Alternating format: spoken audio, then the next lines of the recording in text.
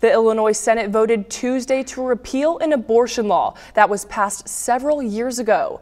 This law is called the Parental Notification of Abortion Act. It requires minors to alert a parent or guardian 48 hours before proceeding with an abortion. The law does not require the child to get consent from the parent. Senators voted to repeal the law 32 to 22, moving it to the House for review. State Democrats hope to replace the law with the Youth Health and Safety Act. Some Illinois Republicans are not happy with the decision to relieve the state of one of their last restrictions on abortions. Illinois State Senator Darren Bailey says minors shouldn't be able to get an abortion without talking with their parents first. I'm, I'm going to call it what it is, other than just an absolute godless mindset. What's driving this to, to, to allow a 12 year old girl uh, to make her own decision without the consent of her parents. I, I, I simply I cannot fathom uh, the recklessness of a bill like this.